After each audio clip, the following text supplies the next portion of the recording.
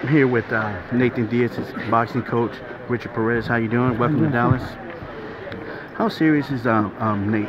What's that? When, how serious is Nate taking Uh, this fight? He's always serious in every fight. Uh, you know, um, I think it's well documented in uh, in his MMA fights. He, I, I think they don't watch, you know, um, tape on their opponent. But since this is boxing, uh, are y'all watching tape and are y'all studying Jake for um, for this fight coming up August 5th? Oh yeah, for sure. That's that's in every fight.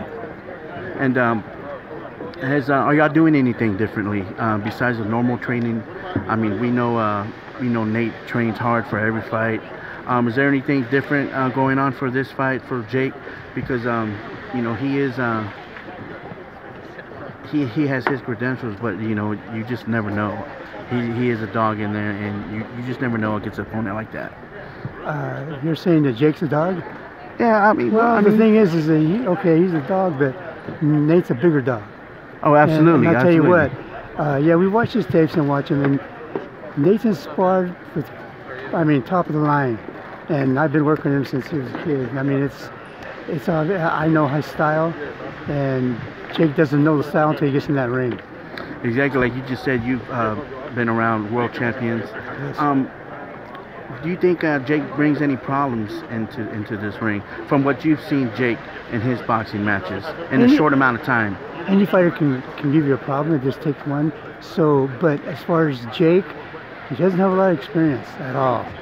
I mean, his his mouth does a lot, you know. But as far as getting there physically, he's going to be mentally and physically here. He's got to be really have. A, he doesn't have so much a lot of experience. Certainly, they say he's got power. Yeah, he can hit him. But as far as experience and knowledge, Nathan is on top. And um, how do you see this fight going? Uh, do you see it going to four eight rounds, or or you see um, and you know obviously Nathan, do you see him finishing the fight? Well, Jake just said he'd go more than eight, so we're hoping maybe 12. Because, you know, you never know. But the thing is, um, I never like to predict, you know, people ask me that all the time, and I just say, hey, if it happens, it happens. I don't want to go out there and try it because you don't want to try something that you think you can do and then you get caught. So he's going to go out there and box and be smart. If he sees it, he'll do it. Do you, do you want 10, 10 rounds because you know Nate is a slow starter, but No. that's in, in MMA. You, you know this is boxing, so it's it's going to be a whole nother. No, the, the, the thing, reason why he likes to go a little longer is because he trains that way. You know, he trains, oh, yeah, he, he does triathlons, he does everything. So when you go into to box or you, or you MMA or UFC, whatever, the thing is, is that he's got a lot of stamina. And he don't want no little eight, eight round fight. This would be a, a big fight. So why make it an eight round if people want to see something, if you look at a big fight, right? So let's go up to 12 or 10.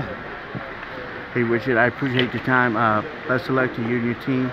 Um, can't wait to see y'all August 5th, man. Any right. shout outs you want to give out to? Uh, family, friends, or sponsors that, you know, Real Fight Inc. y'all might have? Of your gyms? I just want to thank 209 Stockton, uh, my family, Perez family, the Gutierrez family, and, and everybody. Hey Richard, best of luck to you. Thank, Thank you. you.